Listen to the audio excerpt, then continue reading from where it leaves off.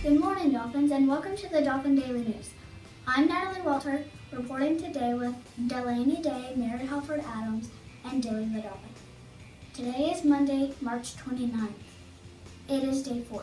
Here's Mary Halford with the Pledge of Allegiance. Please rise for the Pledge of Allegiance.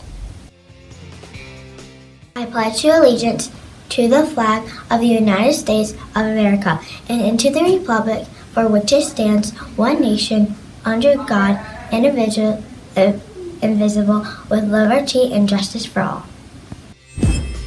Now it's time for the weather. The weather will be partly cloudy. The high will be 61 with a low of 53 degrees. Now here's our menu. Lunch today will be chicken sandwich, corn, apple, and milk.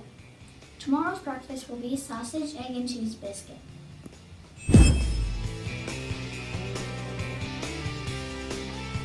We would like to wish a happy birthday to Blake Lee Brickhouse, Wayne Chambers, Aiden Deanna, Lily, F- Lily Fla- Flaherty, and Finn Sadowski. Please come to the office for your birthday surprise.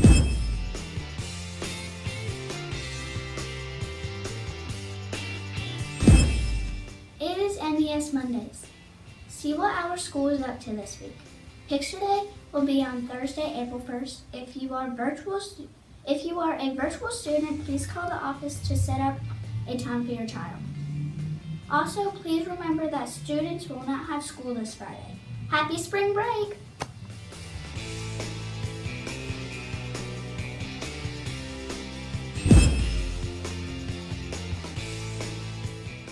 The longest human beard ever recorded is over 17 feet long.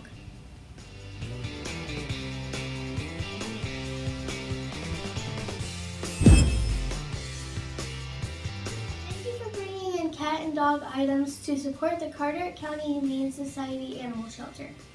Check the school website for what is needed, and please drop off in the boxes in the front hall. Thank you to Ms. Willis, Win Groups, and MES students for bringing our for helping our local animals.